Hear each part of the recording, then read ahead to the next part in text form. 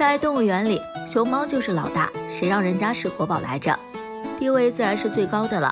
再加上这些家伙长得实在可爱，饲养员们对他们更是宠爱有加，这就更让这些熊猫有恃无恐了，成天任性调皮，想干啥就干啥，反正又没有人敢管他们。这不，天还下着雪呢，两只熊猫宝宝还不肯回家。此时的团子正忙着打架，你给我下去，这是我的地盘。你让我下去，我就下去。本国宝岂不是太没面子了？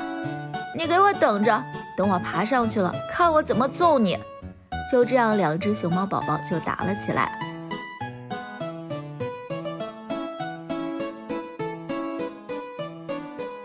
尽管此刻还在飘着雪，看起来天寒地冻的，在人家此刻眼里只有打架。还别说，看起来这两只熊猫宝宝都不大。估计走路都还走不利索呢，没想到战斗力这么强大，两只熊猫都打得浑身黑漆漆的，还在继续。行了行了，我们都知道你们超凶的了，这么大的雪，要不回屋去歇歇再打吧。不得不说，有时候真是小看了这些熊猫团子，难怪人家的祖上能被选为蚩尤坐骑，战斗力真的可以啊！大家怎么看？